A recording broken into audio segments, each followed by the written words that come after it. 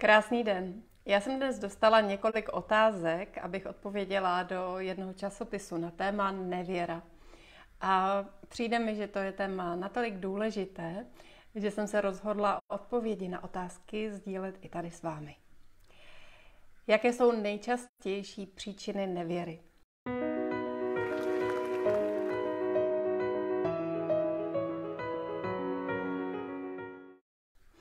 Ty příčiny bývají často trošku jiné u mužů a u žen. A když bych se dívala na ty nejčastější, tak u muže, i když to může znít až jako kliše, to často bývá taková ta klasika. Muž chodí do práce, kde je příjemná, upravená kolegyně, má dobrou náladu a možná je i vůči němu v podřízené nebo podřízenější pozici a tím pádem mu vykazuje respekt a úctu. A doma je žena, která je třeba už po několika letech unavená z toho, jak se stará o děti a je vyčerpaná z nedostatku času sama na sebe. A možná se muž setkává doma spíš než s její radostí a pohodou, a s únavou a s výčitkami a s napětím. Což je velmi nefér situace vzhledem k tomu, jakou situaci má žena doma. Ale je to jeden z až eh, jako tradičně klišeovatých eh, příběhů a scénářů, který se ale děje znovu a znovu. Trošku jiné bývají důvody pro nevěru u žen. A žena většinou jde do kolen z toho, když jí muž dá pozornost. A tak manželky, které mohou mít dlouhodobě pocit, že jejich vlastní muž nevnímá, neslyší, nezajímá se o to, jak se cítí. A pak se vedle nich objeví kamarád, muž, který eh, té ženě naslouchá, upřímně se zajímá o to, co ona prožívá, zajímá ho ta žena, tak eh, pro tu ženu pak bývá docela snadné se zamilovat. Takže ženy se zamilovávají hodně do pozornosti. Muži se často zamilovávají do přitažlivosti. A nebudu zakrývat, že velkou část, i když ne vždy, ale velkou část pro nevěru hraje i určitá sexuální nepohoda nebo vyloženě třeba i sexuální abstinence v tom původním vztahu, kdy jeden z partnerů nechce s tím druhým spát nebo se k tomu musí nutit.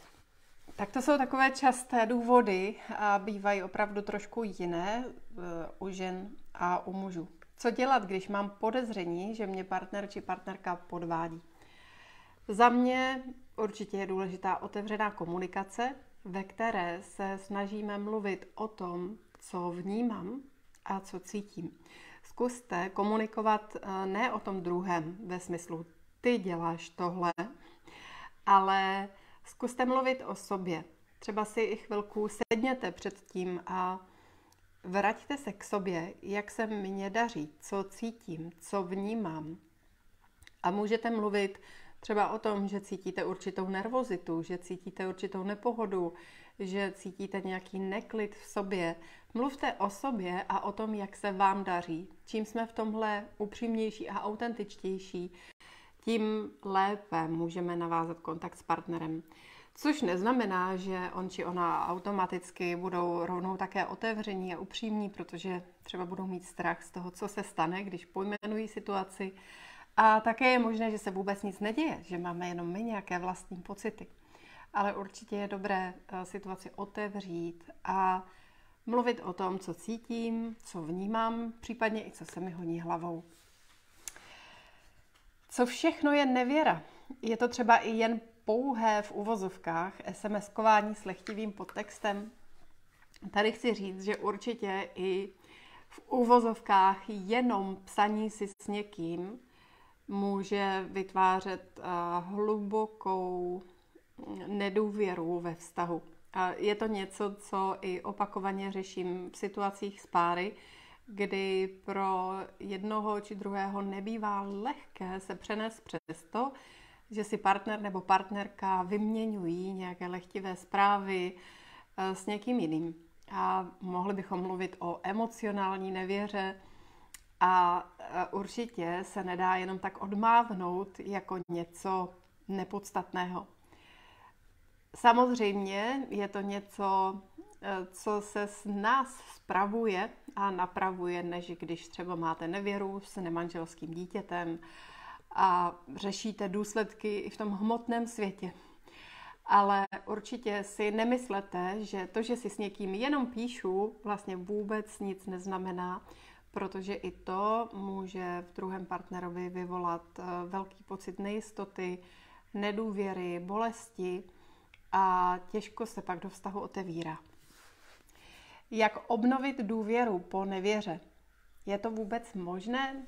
Určitě je to možné a určitě se to stalo pro mnoho dvojic a děje se to zas a znovu, ale často to nemusí být vůbec jednoduché. Jednak potřebujeme čas, podvedený partner či partnerka z pravidla nezapomenou na vše ze dne na den, ale mohou trpět i takzvanou posttraumatickou poruchou. A to znamená, že v případě, že byli podvedení, tak se můžou stát takový velmi podezíravý a třeba se ten druhý pak na chvilku někde zdrží a na ně přijde silná emocionální reakce, velké nejistoty, pocit nebo téměř jistota, že on či ona zase už někde jsou a vlastně nedokážou úplně své emoce v tu chvíli regulovat. Proto se tomu říká posttraumatická porucha, protože ty emoce jsou velmi intenzivní a ten, kdo je prožívá, je nemá ve svých rukou. Tady pak může být uh, jako podpora třeba i individuální terapie, nejenom vztahová, ale aby i ten člověk, který tímhle prochází, postupně znovu lépe našel pevnou půdu pod nohama, protože ty emoce už vůbec, ale vůbec nemusí být propojené s realitou. Samozřejmě svou roli hraje i čas a ten eh, vše eh, dokáže postupně zhojit, ale jak jsem říkala, nemusí to a nebývá to ze dne na den. A co je důležité, abychom takzvaně investovali na to konto našeho vztahu. Co to znamená? Investovat pozornost, investovat energii, starat se o to, abychom měli znovu hezké prožitky jeden s druhým, abychom spolu trávili kvalitní čas, abychom se dotýkali, abychom se objímali, abychom se milovali, i když i tady může opět trvat, než se znovu otevřeme do intimního života, protože tam může být ta nedůvěra. Ale je velmi důležité ten vztah opečovat tím, že se staráme o množství krásných zážitků, kdy se postupně můžeme víc a víc uvolnit a postupně to množství krásného, co spolu prožíváme, převáží nad tím, co nás bolelo.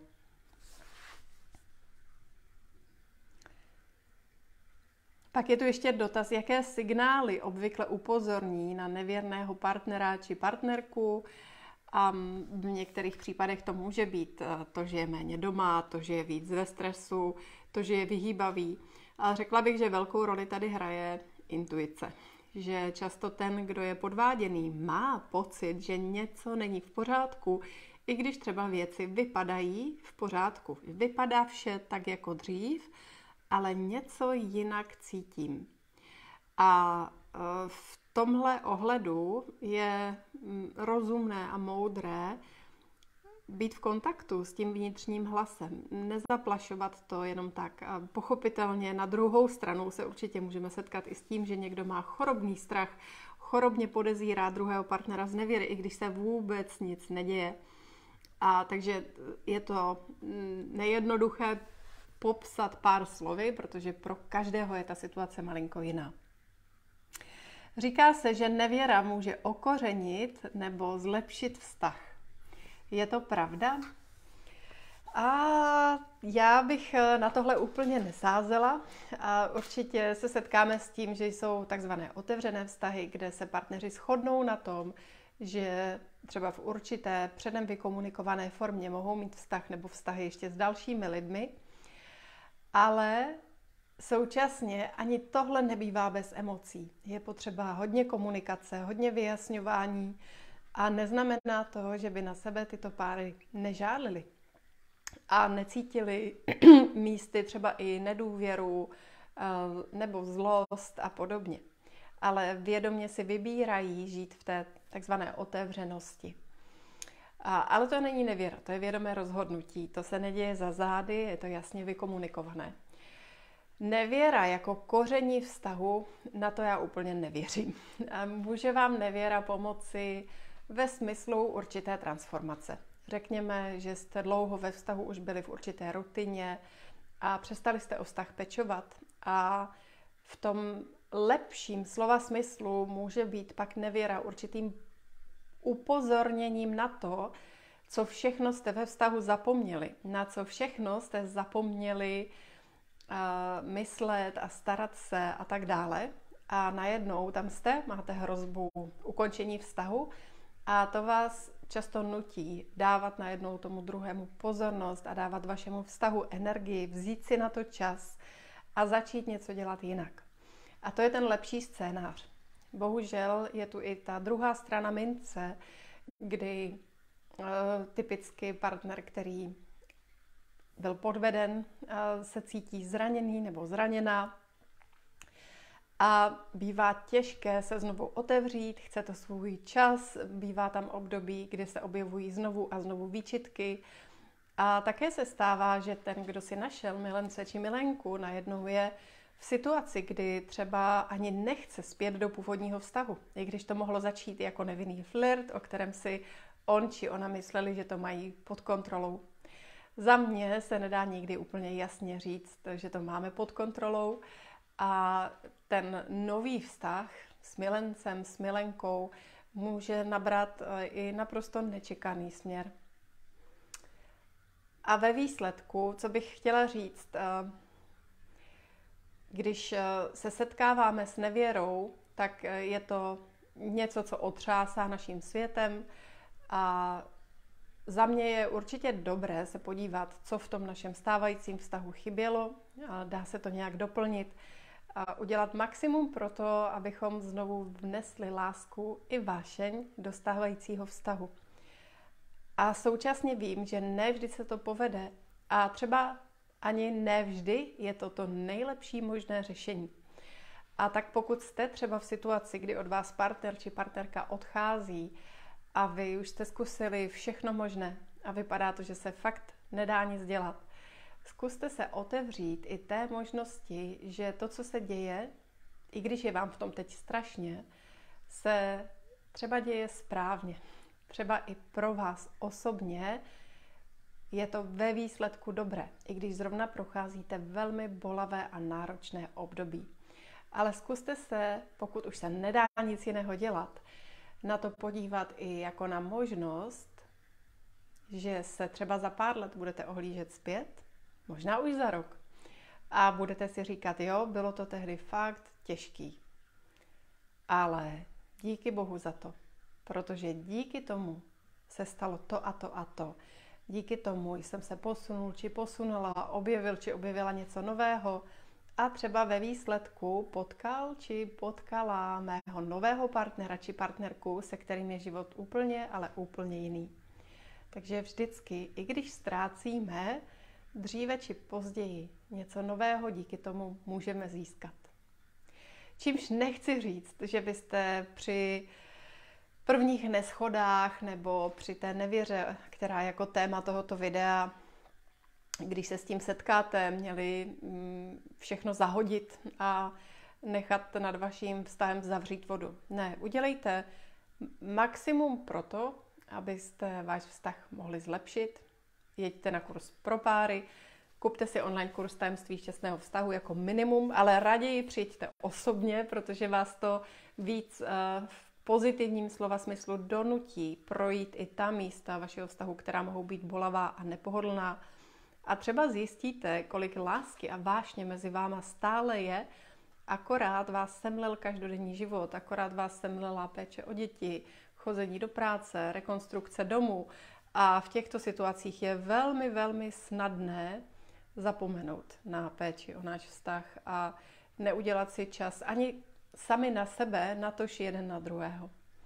Takže udělejte maximum pro to, abyste zjistili, jestli můžete to, co vás ve vztahu bolí, nějakým způsobem napravit, změnit a začít spolu žít jinak.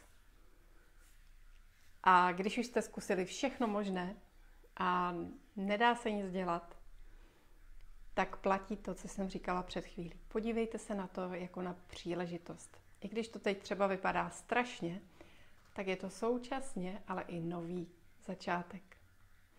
Určitě budu moc ráda, když se o své zkušenosti, vhledy a názory podělíte dolů do komentářů. Pokud chcete nějakou další podporu ode mě, tak na mém webu denisapalečková.cz si můžete hned na úvodní stránce stáhnout videoseriál zdarma, tři klíče pro naplněný vztah, což je taková první pomoc do vztahu, ať jste v jakékoliv fázi, ať jste čerstvě zamilovaní a nebo před rozchodem. Najdete tam praktické kroky, časově nenáročné, které můžete začít hned teď aplikovat, tak, abyste si ve vztahu byli blíž. A jak už jsem zmínila, pokud chcete jít ještě víc do hloubky, vydejte se na kurz Retreat pro páry v živé podobě, tajemství šťastného vztahu, online program a ten vás velice hluboce provede tím, co jsou ty pilíře vztahu, který je pevný, stabilní a současně zajímavý a šťavnatý i po 10, 20, 30 letech. Mějte se hezky, předem děkuji za sdílení, ať se i tahle slova mohou dostat k dalším lidem a já se budu těšit opět na viděnou.